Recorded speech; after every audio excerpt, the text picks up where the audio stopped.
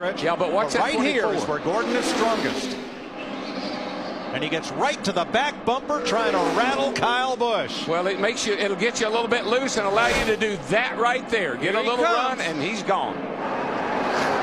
Eight laps to go. Whoa, whoa, Jeff got loose getting in that corner. But Kyle was on the outside of him where he was unable to take advantage.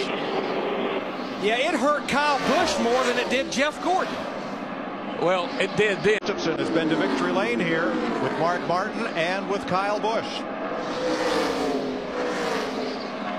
Last week, 20-year-old Trevor Bayne won the Daytona 500 after battling Thursday and drafting with his boyhood hero Jeff Gordon.